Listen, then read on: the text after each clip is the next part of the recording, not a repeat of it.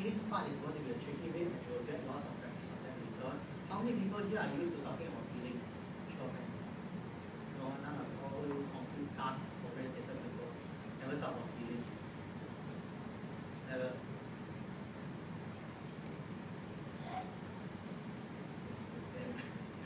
Some good things.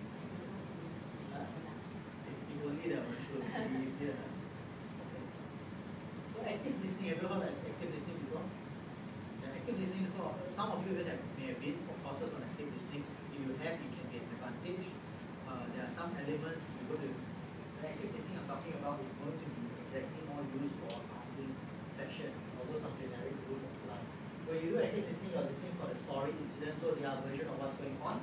You also, what you are looking for is also their perception. Why is their perception important? Is because the situation is an objective situation, but how different people are affected by it depends on their perception. Right? If Jack and John are given a task, Jack can say, I'm so motivated that John, the boss gave me a task to do. No, they really and really trust me. With, with John might be thinking, oh, I've already got so much work to do. You know, the boss wants to kill you and give me so much. So their perception is the one that matters. And their feelings.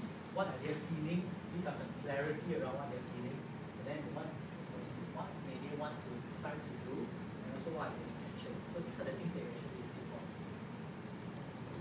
So what you need to do is to resist distraction.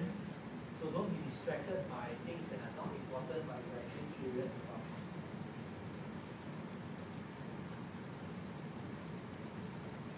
What might those be?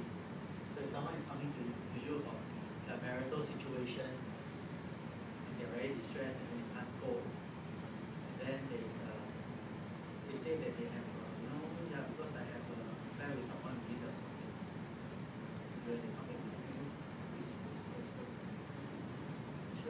Gracias.